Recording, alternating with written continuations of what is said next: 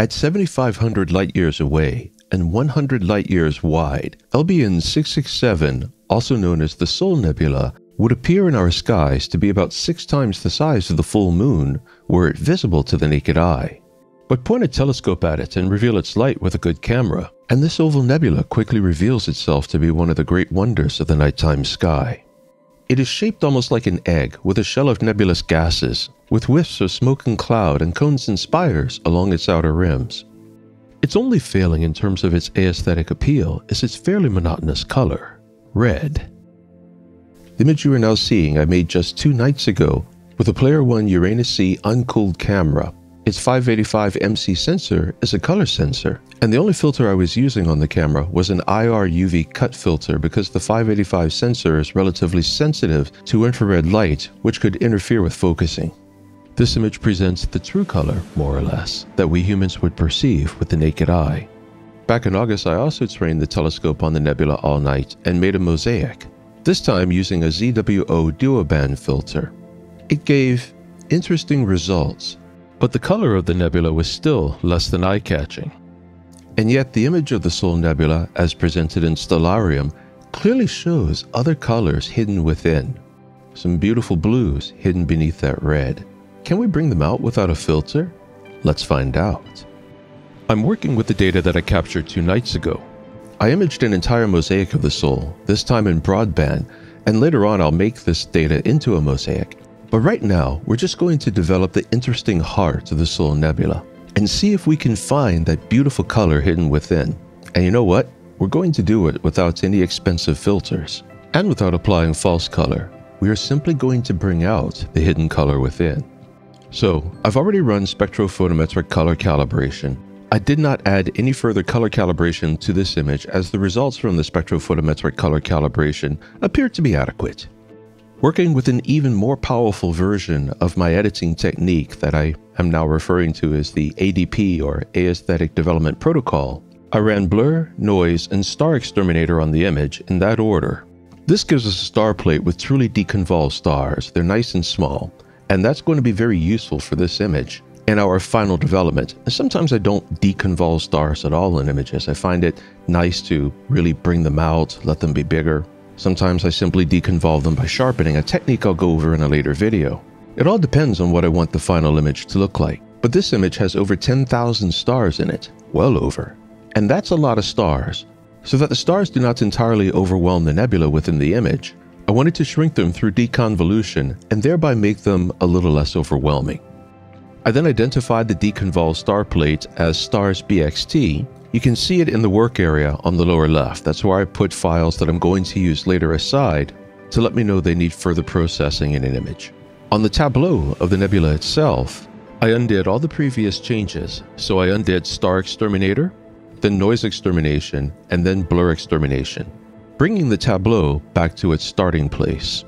I did this because earlier I had experimented on a plate that was developed in the so-called proper method, in which the blur exterminator was run first on linear data, and then I began enhancing the image. No amount of denoising by any means whatsoever would clean that image up. Now I knew this was going to be the outcome. I've done this many times before and I'm not going to waste any more time on this experiment. So after extracting a plate with deconvolved stars, we backed up the plate with the nebula reversing the star extermination, noise extermination, and blur extermination, and returning us to an almost virgin plate. The only thing at this point that has been done to the tableau is spectrophotometric color calibration has been run. Now let's get into the active business of editing this image. The first thing I did was run Star Exterminator again. I'll go into why in depth in an upcoming video called How to Get Deconvolved Stars When Using the Aesthetic Development Protocol. It'll be out in just a few days. But now from this image, I've extracted the undeconvolved stars because they're just such a huge part of the image and the nebula itself is very faint. I don't want the stars in the image at all while I'm developing it. They will completely overwhelm the nebula. I identified that star plate as junk stars and put it on the lower right, where I put plates that I think I'm going to toss away. I don't really like to toss away anything until I'm done with the editing process because you never know what'll come in handy. Now, using the histogram transformation tool and applying the theory of histogram transformation that I went over several videos back, which I'll link here, I'm going to move the left icon on the histogram transformation tool right up to the left edge of the relevant data in the light curve. And I'm going to move the middle icon right up to the right edge of the relevant data in the light curve. This provides a nice flat image and allows the images to be worked with the curves tool in a way that most photographers are used to working with curves from other image editing applications. The advantage of working in the Curves tool is there we can see the live application of changes and this allows us to make very fine adjustments. Since so much can be accomplished in the Curves tool, we can often avoid having to use PixInsight's powerful but often clunky other tools. I mean, if you're like me, you get sick of having to mess with all these tools where you fiddle with this number, that number, press a button, see what the outcome is, go back, try to redo it, eventually get frustrated, and then settle for a half-baked image. So the histogram making portion of the process always goes quickly, and in just a few seconds it's done. Now we're going to move on to the next major step in editing this image. We're going to open the Curves tool. Now this nebula has a lot of color hidden away within it, and it's very subtle, so I usually start off working on the luminance channel, but this time I'm going to work on the luminance slash RGB channel, or as it's labeled in PixInsight, the RGB slash K. And I'm going to make a modified S-curve to raise the brights and lower the darks, darken the space somewhat, but at the same time to increase the saturation of the colors within the nebula. Because all the colors are being increased together, we are increasing the natural color of the nebula, so it becomes something that we can work with. When I have the saturation and curves together where I want them, I'm going to open the luminance channel and further adjust just the brightness of the image so as not to further change the color. The gases in this nebula are somewhat diffuse and don't look highly resolved. This will allow us to naturally increase the contrast just a little bit, which has an overall sharpening effect on the image without actually applying a sharpening tool. In the end, I decided that I needed to see the color changes on the individual red, green, and blue channels before I adjusted the luminance too much. This is because changing color, especially on the green channel, is going to affect how brightly the human eye perceives the image. So at this moment, there are colors hidden away in that image and I want to bring them out. There's blue in the heart of the nebula and to bring that out we're just going to create a very slight curve on the blue channel, a slightly modified C curve with a dip at the bottom to minimize coloring the space around the nebula, which should be as black as possible. So two grab points on the blue channel and then another grab point near the very bottom to pull it down just slightly accomplishes that. You can see now we've added some green to the space, so we're going to work the green channel now. We'll parallel the green channel to the upper side of the blue channel. This keeps our colors true in the brighter regions. And then we'll just pull down the green channel in the lower area, once again returning the space to black. At this point, the image is very noisy and sloppy. And since color noise is a thing, experience has taught me that working the saturation curves can add to that noise, so I'm going to go ahead and run the noise exterminator now. It's a little earlier than I usually do, but I feel that now is an appropriate time. It'll help remove that noise and give me a better sense of what the final target image should look like. Now we're going to pop over to the red channel and raise the red just a little bit on the upper side in order to enhance the brighter luminance reds, but pull it down toward the middle to leave the reds extracted out of the natural color in the middle ranges of luminance. Red, as is the case with so many deep space objects, is a dominating color, but there are other colors hidden within, and just removing a little red in particular ranges of luminance can allow those colors hiding within an image to show through. Think of it this way, filters remove light by frequency and frequency equals color. We can do something similar digitally by restricting light on certain color channels except by luminance. And then finally we're going to pull down the red channel at the very bottom because the transformation of the red channel lifted the curve all the way and we need to pull it down at the bottom to to blacken the space. Otherwise the black space around the nebula is going to have a bit of a red tinge around it. Now I can see there's still a bit too much blue and green in the space and I can blacken that further. So I'm going to reset the curves transformation tool, drag the lower 10 or 15% of the curves tool down to extract the blue from the darkest region of the space around the nebula. And then I'm going to restore the rest of the blue channel to a flat geometry in which the curve travels straight up the middle squares of the curve transformation tool. This restores our true color after extracting the blue out of the space. Then I'm going to perform the exact same procedure on the green channel to extract that green out of the dark space around the nebula. Darkening the space will also allow the contrast of the colors within the nebula to show through even better. This looks good. It's now time to run the blur exterminator on the image, but with the steep difference in contrast between the dark areas and the brighter areas and the steep difference in colors, I don't want the blur exterminator to over sharpen the background. That'll lead to crushing the blacks and blasting the brights. I also don't want Blur Exterminator to make any changes to the delicate balance of color here. That can occasionally lead to color artifacts which often show up as strange blotchy patches. So on the Blur Exterminator panel, I've reduced the Sharpen Non-Stellar slider down to 0.30. Reducing the normal amount Blur Exterminator will sharpen by 40%. I've also checked the luminance only option so that the blur exterminator only works on the luminance channel and leaves the colors alone. This yields a very nice final image, not over sharpened with great coloration. I can see there is just a little blue and green left in the space. And I want to remove that before I do the final editing on this image. So once again, I'm just going to open up the Curves Transformation tool and drop the very bottom of the blue and green channels just a little, just enough to extract the blue and green out of the black space, or what should be black space, and then flatten out the rest of the blue and green channels, which is to say, making sure all the upper regions of the blue and green channels run straight between the lower left and the upper right corners. This keeps our image to a sort of true false color, where the image shows the colors actually hidden away in the nebula when you turn down the reds in the lower to middle luminance ranges. Now all I have to do is stretch up the histogram on the star's BXT plate to get those stars at a good brightness where they will show up well in the nebula without overwhelming it. On the histogram transformation tool, we eyeball this and then switch over to the curves tool to make our final transformations, increasing the saturation only and just enough to allow the color of the stars to show through.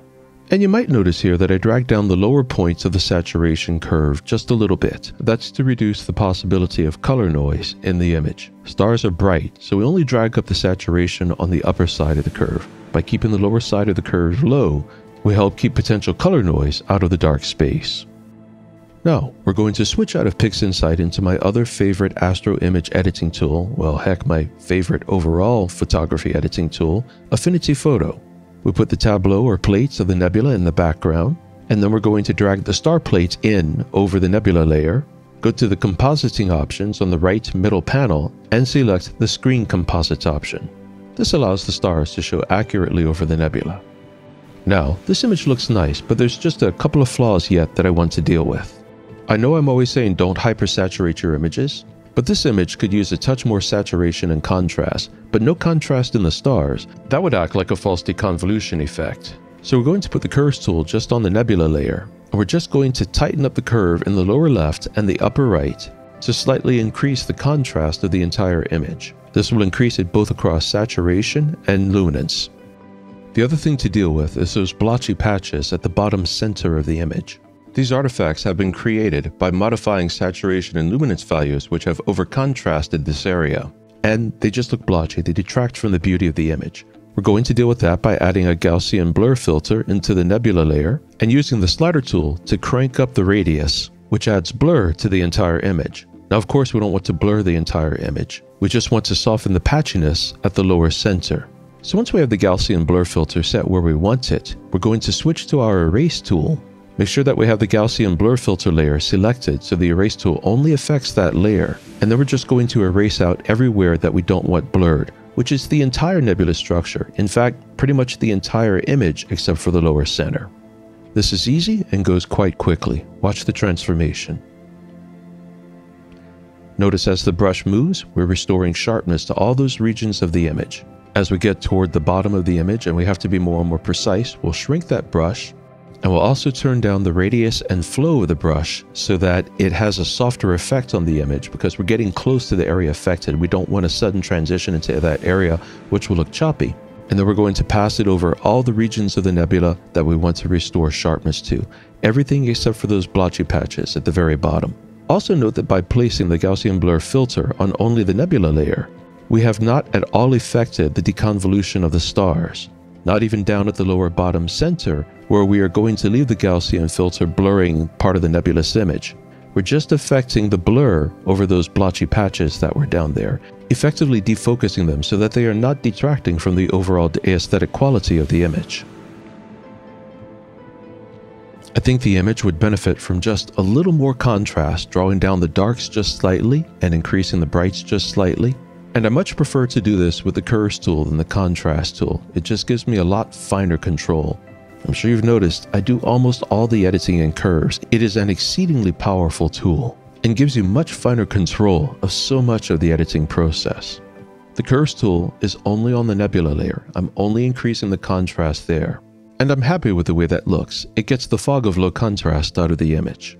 So at this point, we're getting down to the last steps. We need to crop out the diffuse edges, which resulted from the stacking process. Affinity Photo has a very simple, quick, and efficient cropping tool. We can easily zoom in and get perfect crops out of that.